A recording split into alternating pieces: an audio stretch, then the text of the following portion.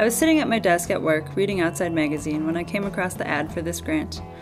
It got my wheels turning, and I was thinking if I really could do anything, what would be my dream trip? I've done quite a bit of traveling around the world, but I always find myself coming back to this place.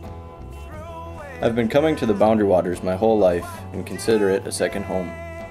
Three years ago, I began working at the outfitter to be as close as possible to the wilderness, but still haven't had a chance to spend more than two consecutive weeks out there.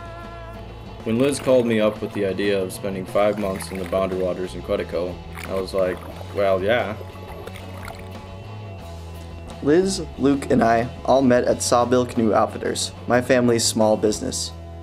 Because of Sawbill, I was able to meet some of the coolest people and have the wilderness literally out the back door. I've been making films since I was a little kid.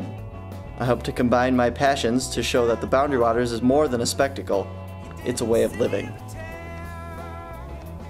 The three of us have been doing trips in the Boundary Waters for most of our lives, but we've only covered a small percentage of the parks. The Boundary Waters Canoe Area Wilderness and Quetico Provincial Park contain almost 2,000 lakes and cover over 2 million acres of land across the Minnesota Canada border. The only way to visit this area is to enter through 100 or so designated entry points. When we were deciding how to approach this trip, we thought, well, we should obviously go to all of them. In a place where inclement weather, forest fires, beaver dams, or water levels can dramatically affect your route in a matter of hours, this will be no small feat. With no roads, no motorized vehicles, and definitely no cell phone coverage, this is real wilderness.